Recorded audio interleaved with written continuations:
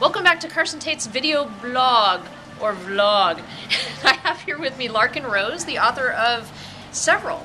How many? Uh, three on the market and one coming out in June. And another one in your head?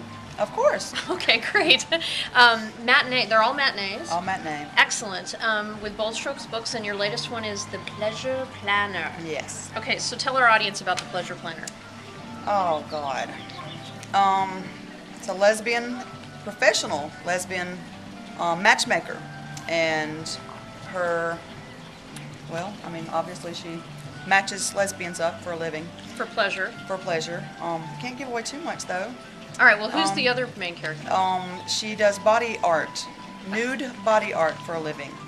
And the entire book basically is them coming together and just like this the whole time. It's just like crashing, crashing, crashing, but can't. D- did they ever like this?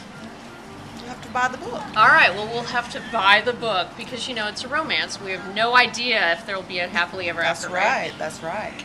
So, what's special about the matinee books?